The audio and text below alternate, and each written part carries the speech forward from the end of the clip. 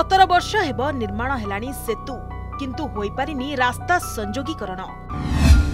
ଲକ୍ଷାଧିକ ଟଙ୍କାରେ ନିର୍ମାଣ ହୋଇଥିବା ସେତୁ ଏବେ ଅକାମୀ। ବ୍ରିଜ୍ର ଉଭୟ ପାର୍ଶ୍ୱରେ ନିର୍ମାଣ ହୋଇପାରୁନାହିଁ ରାସ୍ତା।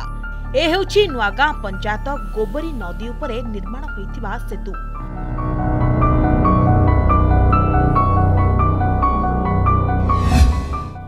ହଜାର ଚାରିରେ ତତ୍କାଳୀନ ସାଂସଦ ବ୍ରହ୍ମାନନ୍ଦ ପଣ୍ଡାଙ୍କ ନିଜସ୍ୱ ପାଣ୍ଠିରୁ ନିର୍ମାଣ ହୋଇଥିଲା ସେତୁ। ମାତ୍ର ସେତୁର ଉଭୟ ପାର୍ଶ୍ୱରେ ନିର୍ମାଣ ହୋଇପାରିଲେନି ସଂଯୋଗୀକରଣ ରାସ୍ତା। ଫଳରେ ସ୍ଥାନୀୟ ଲୋକେ ସେତୁ ଦ୍ୱାରା ଉପକୃତ ହୋଇପାରୁନାହାନ୍ତି। ସେପଟେ ବର୍ଷ ବର୍ଷ ଧରି ଏହି ସେତୁର ରକ୍ଷଣାବେକ୍ଷଣା କରାଯାଉନଥିବାରୁ ସେତୁର କିଛି ଅଂଶ ମଧ୍ୟ ଭାଙ୍ଗିଗଲାଣି। ଏ ପୋଲଟା ଆଜିକି ଦଶ ଆଠ ଦଶ ବର୍ଷ ହେଲାଣି। ଏ କଣ୍ଟ୍ରାକ୍ଟର କାମ ଗୋଟିଏ ଫାଳ କରିଛି ଆଉ ଗୋଟିଏ ଫାଳ ବନ୍ଦ ଅଛି। ସେ କାରଣରୁ ସେ ସେ ସେପଟ ଗାଁର ସେପଟ ଗାଁ ଲୋକ ସବୁ ବନ୍ଦ କରିଛନ୍ତି। ତାଙ୍କ କହୁମତି ଯେ ଏ ରାସ୍ତାଟା ସାଡ଼କୁ ନାହିଁ ବାଟ। ବାଟ ନାହିଁ ବୋଲି ପୋଲଟା ବନ୍ଦ ଅଛି ସେଠି ଅଧାରୁଆର। ଯିବା ଆସିବା ଏଇ ନଈ ଭିତରେ ପଶି ଯିବା ଆସିବା କରୁଛୁ ଆଉ। ପାଣି ହେଇଯାଏ ଆମେ ସେ ଗନ୍ଧନ ସେପଟେ ପଶିକି ଯାଉ ପୋଲ ପଟେ ସରକାରଙ୍କର ମନୋବୃତ୍ତି ନାହିଁ। ଯେଉଁମାନେ ନେତା ବିଧାୟକ ସରପଞ୍ଚ ଏମାନଙ୍କର ବି ମନୋବୃତ୍ତି ନାହିଁ। ତେଣୁ ବାର ବାର କହିଲା ସତ୍ତ୍ୱେ ବି କାମ ହେଉନି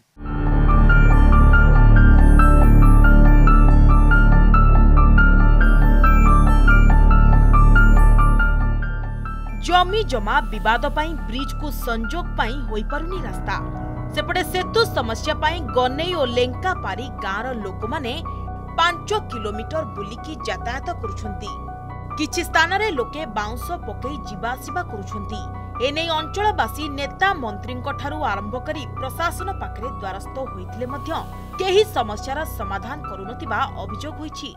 ନା ସେ ପୋଲର ଯେଉଁ ଏଣ୍ଡ ପାର୍ଟଟା ରହିଲା ଆମର ଗୋପାଳପୁର ମୌଜାକୁ ସେଠି ସେ ଜାଗାଟା ଆମର ସେଟା ଗଭର୍ଣ୍ଣମେଣ୍ଟର ନାହିଁ। ସେ ସେ ବୋଧେ ସେ ଲେଙ୍କାପାରି ଯେଉଁ ଗୋପାଳପୁର ହାମଲେଟ୍ ଭିଲେଜ୍ ରହିଲା ତା'ର ଠାକୁରାଣୀଙ୍କ ଜାଗାଟା ସେଥିରେ ଅଛି। ସେଥିରେ ମାର୍ଫତ ଦ୍ୱାରା କିଏ ସେ ଅଛନ୍ତି ସେଇ ଲେଙ୍କାପାରି ଲୋକ ଅଛନ୍ତି। ସେମାନେ ବି ତାକୁ କିଛି ଲୋକ ଅପୋଜ କଲେ। ତେଣୁ ସେ କାମ ହେଇପାରିଲାନି। ସେ ତ ପଡ଼ିଛି ସତର ବର୍ଷ ଅଠର ବର୍ଷ ହେଲାଣି ଆଉ। ରାସ୍ତା ଅଛି କିନ୍ତୁ ସେ ଲୋକମାନେ ସେପଟରେ ଯେ ଲୋକ ସେ ସବୁ ରହିଛନ୍ତି। ସେମାନେ ଛାଡ଼ୁନାହାନ୍ତି ରାସ୍ତାଟା। ଏଇଟା ଗଭର୍ଣ୍ଣମେଣ୍ଟ ରାସ୍ତା। ଜବରଦସ୍ତି ସେ ତାକୁ ମାଡ଼ି ବସି ଏଠି ତ ପ୍ରାୟ ପାଞ୍ଚ ଛଅ ଖଣ୍ଡି ମୌଜା ଆଜି ନିର୍ଭର କରେ। ମାନେ ପ୍ରାୟ ବି ଏଇଟା ଇଏ ବାଟ କହିଲେ ବି ଚଳେ। ମୁଖ୍ୟ ବାଟ କହିଲେ ବି ଚଳେ। ଏମିତି ପାଣିରେ ପଶି ସେପଟରେ ଇଏ ଥିଲା ପକେଇକିରି ଆମେ ବାଉଁଶ ନହେଲେ ଇଏ ପକେଇକିରି ସବୁ ଘର ଫର ପକେଇକିରି ଯିବା ଆସିବା କରୁଥିଲୁ ଆଉ।